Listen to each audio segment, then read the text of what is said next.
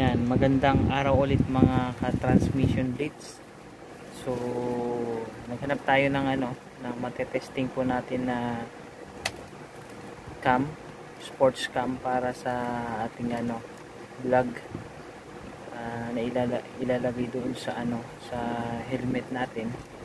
So, nakakita po tayo sa Shopee. So, hindi siya hindi siya mahal. Kaya naman ng bulsa So, subukan po natin siya. Tignan natin kung ano po yung ano niya, yung performance niya. Kasi base dun sa mga nabasa ka natin sa review bago natin bilhin ito. So, ay ang problema ay yung sa battery niya. So, hindi siya nagla-last long. So, hopefully, hindi po natin maranasan yon At kung sakala man maranasan natin ay okay naman yung ano, maging okay yung video niya yung quality ng video at makakuha naman ng sakto lang yung mag, makabideo naman at hindi yung biglang namamatay agad. So yun uh, papakita ko sa inyo kung anong tsura nun at uh, hopefully magtagal siya. Ito guys yung camera. Uh, nabili po natin